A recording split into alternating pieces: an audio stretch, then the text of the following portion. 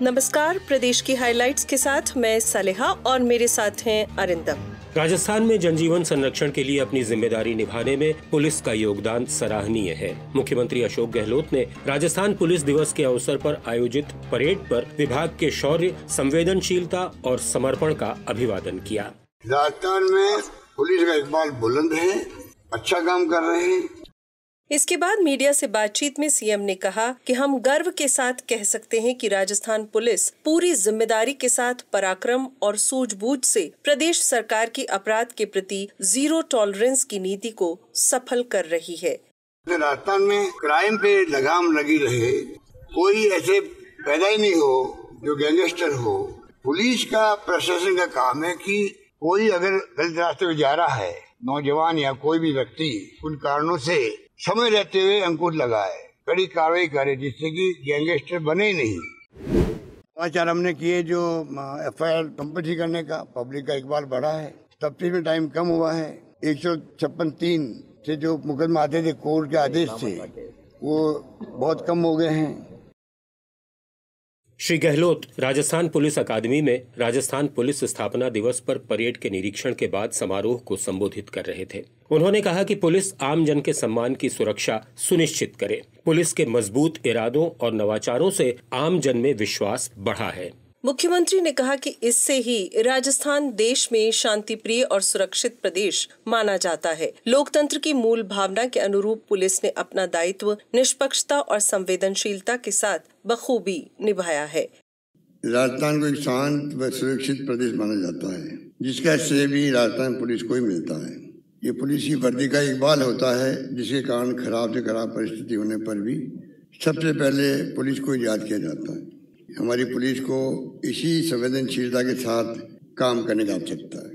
जिसे कोई भी व्यक्ति पुलिस को फ़ोन करने में संकोच, झिझक या परेशानी महसूस ना करे।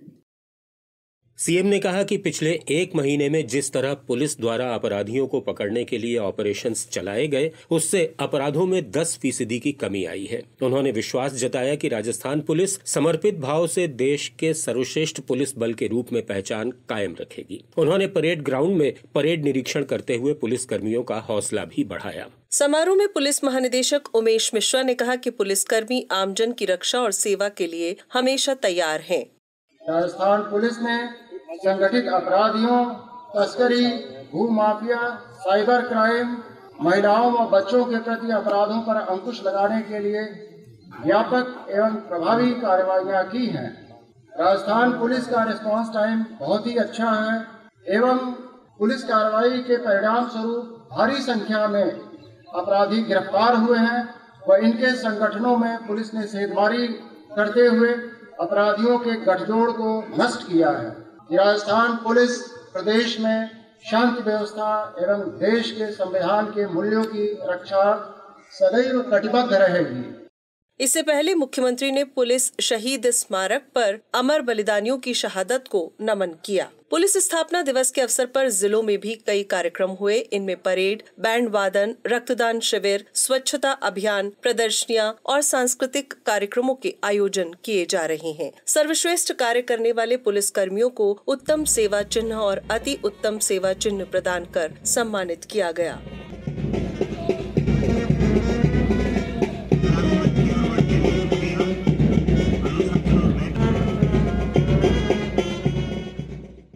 साथ ही आपको ये भी बता दें कि राज्य सरकार ने प्रदेश के कुख्यात अपराधियों की गिरफ्तारी पर इनामी राशि में बढ़ोतरी की है। अब ऐसे फरार अपराधियों पर पुलिस महानिदेशक पाँच लाख रुपए तक, अतिरिक्त पुलिस महानिदेशक अपराध एक लाख रुपए तक, पुलिस रेंज महानिरीक्षक पचास हज़ार रूपए तक और जिला पुलिस अधीक्षक पच्चीस हज़ार रूपए तक की इनामी राशि का ऐलान कर सकेंगे। मुख्यमंत्री ने कानून व्यवस्था की समीक्षा बैठक में इनामी राशि बढ़ाने के निर्देश दिए थे। इस निर्णय से आम लोगों की मदद से कुख्यात अपराधियों पर प्रभावी नियंत्रण हो सकेगा। गिरफ़्तार करने वाले पुलिस कर्मियों को भी प्रोत्साहन मिलेगा और गौरतलब है कि साल 2013 के बाद इनामी राशि में अब बढ़ोतरी की गई है।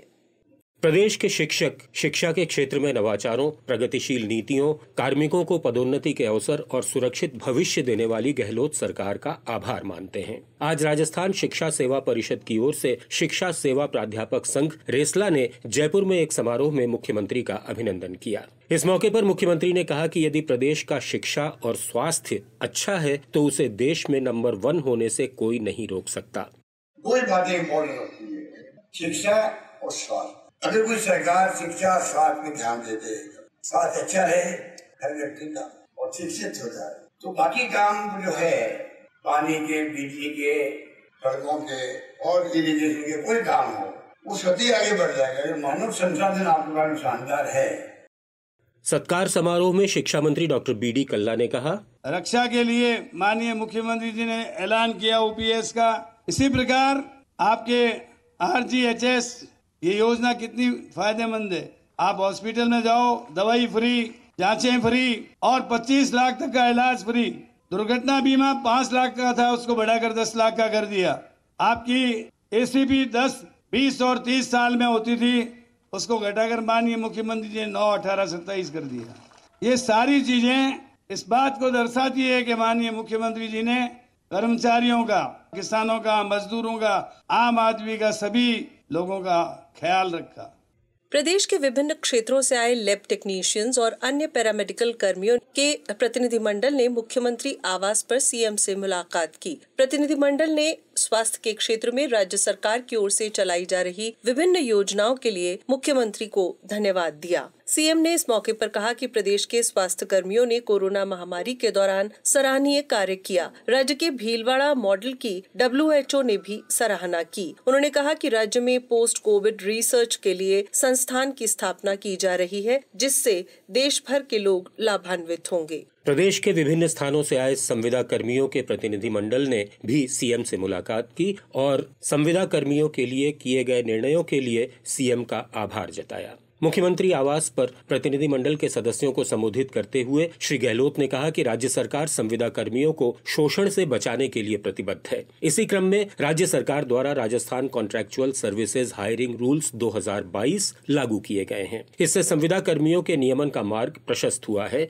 कार्यालयों में ठेका प्रथा को समाप्त किया गया है। नंदिनी गुप्ता ने उनसठवे Femina Miss India beauty pageant में मिस इंडिया 2023 का खिताब जीता है। कोटा की 19 वर्षीय नंदिनी को कल रात इम्फाल में आयोजित समारोह में विजेता का ताज पहनाया गया। अब नंदिनी मिस वर्ल्ड कंपटीशन में भारत का प्रतिनिधित्व करेगी। मुख्यमंत्री ने इस उपलब्धि के लिए नंदिनी को बधाई देते हुए सोशल मीडिया पर लिखा कि बेटी के सर सजा, ताज पूरे प्रदेश को हुआ नाज। अब सुनिए जिलों का राउंड अप